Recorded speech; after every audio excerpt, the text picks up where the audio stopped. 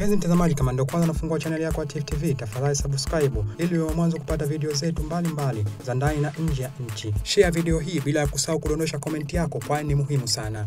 Ndugu wanahabari, karibuni sana kwenye ukumbi eh, wa mkutano wa Jeshi la Polisi mkoa wa Kaskazini Kusini Unguja kwa madhumuni ya kupeana mambo muhimu ambayo yanajiri katika himaya yetu. Jeshi la Polisi mkoa wa Kusini Unguja lilikuwa likipeleleza tukio la kupotea kwa askari namba NV 1630 Sergeant Haji Machango Mohamed ambaye yeye anafanya kazi kikosi cha volunteer maarufu kama KVZ eh, makao makuu huko Mtoni Zanzibar. Eh, tukio hili lilitokea tangu tarehe nane mwezi wa nane mwaka elfu mbili eh, na taarifa yake ilitolewa kesho yake tarehe tisa mwezi wa nane mwaka elfu mbili na ishirini na nne. E, askari huyu alikuwa akihudhuria mafunzo ya uongozi e, tunaita officer cadet katika chuo cha uongozi wa e, kikosi e, au jeshi la kujenga uchumi JKU.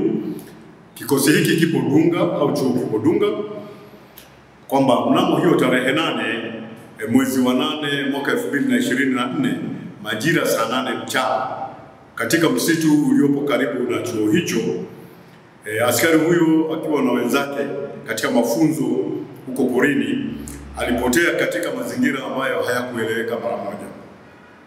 Baada ya wenzake kurejea kikosini e, jioni ile ndipo ilibainika kwamba huyo askari alikuwa haonekani, na taarifa hizi zikaenda kuripotiwa katika kituo cha polisi Dunga katika wilaya ya Kati mkoa wa Kusini Unguja. Tarehe ishirini na sita mwezi wa 9 mwaka elfu mbili na ishirini na nne majira ya saa kumi alasiri huko kwenye msitu ulioko karibu na chuo hicho eh, cha JKU Dunga e, pembeni tu kidogo ya hiyo kambi ambayo kuna uzio kwenye hiyo kambi, lakini kwenye msitu ambao uko karibu na hiyo kambi ulionekana mwili ambao walitiliwa mashaka kwamba ni wa huyu askari aliyekuwa amepotea. Katika ukaguzi wa awali na uchunguzi wa awali, mwili huo ulionekana ukiwa na simu ya huyu askari aliyepotea. Kwa hiyo ikawa na mawazo kwamba huenda ndiyo yeye. Aidha, alionekana na mavazi ambayo ndio yale aliyovaa siku hiyo ya mwisho, ikiwepo raba zake ambazo ni raba za kiraia, sio za kijeshi.